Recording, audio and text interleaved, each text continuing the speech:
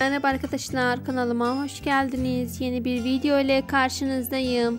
Sizlere yenilikleri bildirmek için her an çalışıyorum. Sizler de videomu beğeniyorsanız kanalıma abone olup bana destek olun.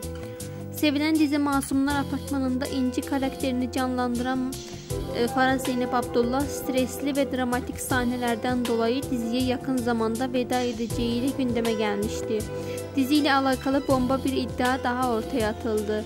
Yeni iddia diziden ayrılan Abdullah'ın yerine Fahriye Evcen'in Ceylan karakteriyle diziye dahil olacağı söyleniyor. Bakalım iddialar ne kadar doğru çıkacak.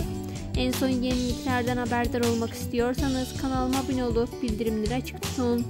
İyi seyirler arkadaşlar. Şimdilik benden bu kadar. Umarım beğenirsiniz. Videomu sona kadar izlerseniz mutlu olurum.